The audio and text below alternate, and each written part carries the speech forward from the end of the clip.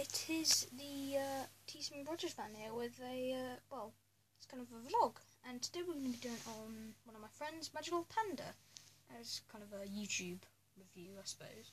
Um, so he's a he's a YouTuber. Um, he's only got like sixty subscribers. Um, but yeah, he's got he's got a good little channel. He's he does um games like GTA, Zombie Three. Star Wars Battlefront and some like vlogs and like uh, scootering and skateboarding stuff. So yeah, uh, I'll actually show you a little.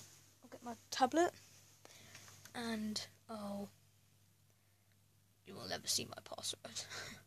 um, here you are. Here's his channel. He, that's his like a uh, little picture.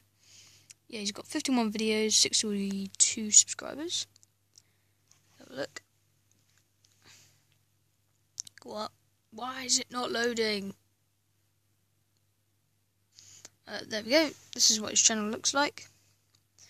Um, he's got quite a lot of uh, videos, 52 or 51 something. Um, uh, there you go. That's a skateboarding one. There's a vlog, and here's some games. He's got loads and loads of games. Um, and he does uh, some with his friends. So, oh yeah, he's done some Call of Duty Black Ops, which I actually quite like. It's not too bad. And yeah, he, he's got quite good quality because he's got an Elgato and records on his PS4, so he's got really good quality in audio.